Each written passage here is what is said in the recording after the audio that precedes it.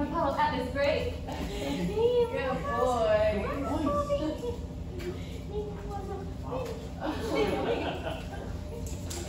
I know.